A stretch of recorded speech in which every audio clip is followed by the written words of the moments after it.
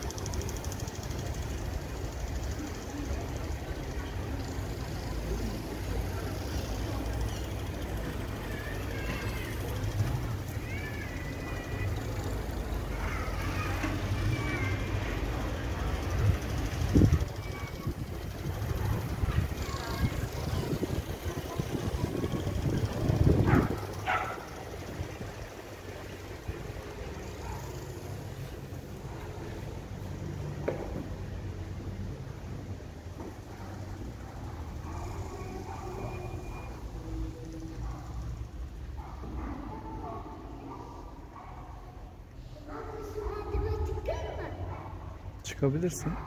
Bir kez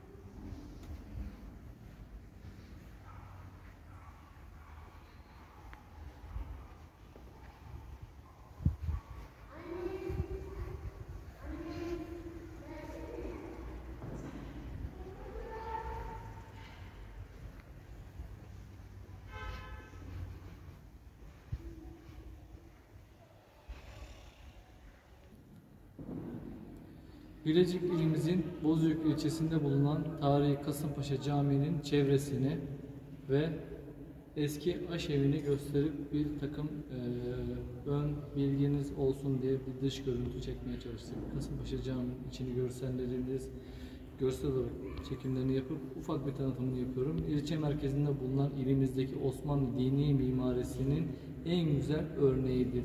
Külliyenin bir parçası olmasına rağmen cami ile imaret günümüze kadar ulaşmıştır. Rivayete göre Kanuni Sultan Süleyman Rodos seferinde e, ordu caminin olduğu alanda bu alanda mola vermiş. Vezirlerinden Kasımpaşa zafer kazanılması halinde bu bölgeye cami adamıştır. Bu vesileyle bu cami, bu Kasımpaşa camimiz buraya inşa edilmiştir. Bozüyük ilçemize. Ee, 1525-1528 tarihlerinde inşa edildiği yeri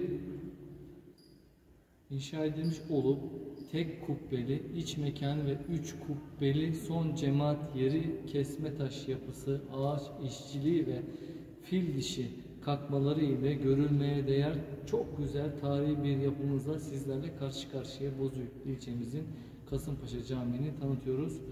Ee, umarım bu vesileyle Bozüyük'ümüze geldiğiniz zaman Kasımpaşa Camii'mize uğramana gitmeyeceğini düşünerek bu videoyu yapıyorum. Bizi izleyip diğer videolarımızı da izlemeye devam ettiğini düşünerek teşekkür ediyoruz. Görüşmek üzere.